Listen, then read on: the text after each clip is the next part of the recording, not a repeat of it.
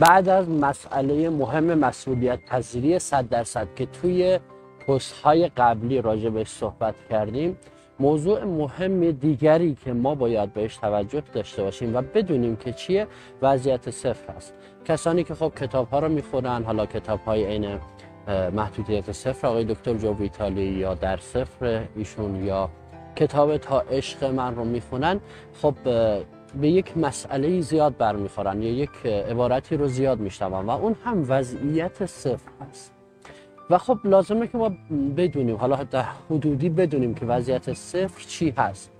وضعیت صفر یعنی وضعیتی بدون داده. در واقع صفر یعنی داده صفر یعنی هیچ داده ای نباشه.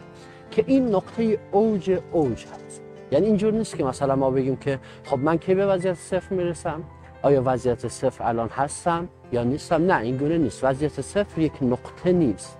وضعیت صفر اون نقطه آخر آخر هست که ما یک مسیر رو باید طی کنیم و این مسیر رو که طی می‌کنیم به وضعیت صفر نزدیکتر و نزدیکتر میشیم یعنی اینجور نیست که ما بگیم که خب الان من به وضعیت صفر رسیدم. یعنی یک نقطه نیست بلکه یک مسیر هست که ما به میزانی که بیشتر روی خودمون کار کنیم حالا به هر روشی یکی از روشاش هم هوپنوپنو هست. به میزانی که بیشتر رو خودمون کار کنیم داده های درونیمون رو حل کنیم تعاریف درونیمون رو درست کنیم. اون داده هایی که دارن زندگی ما رو خلق می‌کنن و اتفاقات بد برای ما میآفرینن. به میزانی که اونها رو پاکسازی کنیم و داده هامون کمتر میشه به همون میزان به وضعیت صفر نزدیکتر میشیم اون وضعیت صفری که مثلا وضعیت صفر مطلق میشه اسمش گذاشت اون دیگه مثلا اگه کسی به اون نقطه برسه دیگه به پیامبری رسیده دیگه به اون درجه بالای عرفان می‌رسه.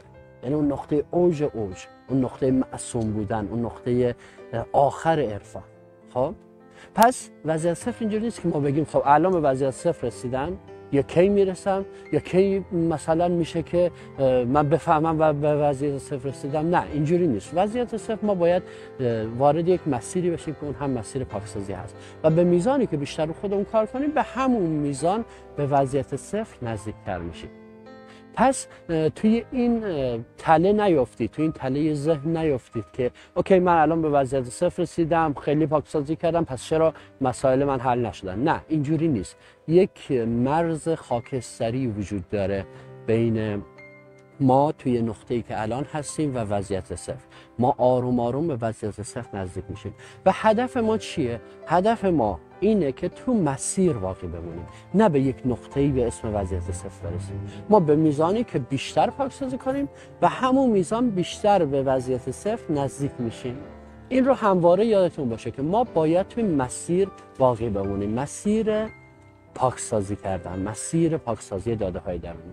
همونجور که گفتم این دنیا تماما داده است و ما وجودمون تماما داده است. ما از کودکی کلی اطلاعات دریافت کردیم کلی چیزها یاد گرفتیم کلی مورد تربیت و آموزش قرار گرفتیم که همه اینها داده است. یعنی اینقدر داده ما توی ناخودآگاه خودمون ذخیره کردیم. و اصلا با همین داده هاست که داریم زندگی می‌کنیم. اینکه من یادم میاد اسمم چیه؟ اینکه من اسم پدرم مادرم چهره ها اینها رو یادم میاد به چه خاطر هست؟ به این خاطر هست که من داده هایی رو تو ناخودآگاه هم توی حافظه هم سیو دارم ذخیره دارم که این داده ها به من کمک می‌کنن تا من جهان پیرامونم رو بشناسم و باهاش بتونم زندگی کنم. پس همه چیز داده است. همه چیز تو این دنیا داده است و درون من همه چیز داده است. حالا ما با پاکسازی کردن چه کار می‌کنیم؟ میایم. داده هایی که به ضرر ماست. و داره اتفاقات بد رو برای ما خلق می‌کنه. یا همون باورهایی هست که به نفع من نیست. ما میایم با پاکسازی کردن اون داده های مضر رو پاکسازی می‌کنیم و به میزانی که اونها رو بیشتر پاکسازی کنیم و همون میزان هم به وضعیت صفر نزدیکتر میشیم. پس به وضعیت صفر نیاز نیست که فکر کنید یا به رسیدنش کنید. شما فقط پاکسازی کنید. وضعیت صفر شما به میزانی که نزدیکتر بشید بهش به همون میزان حال خوبیتون بیشتر میشه. اون ایمان عمیق درونیتون بیشتر میشه.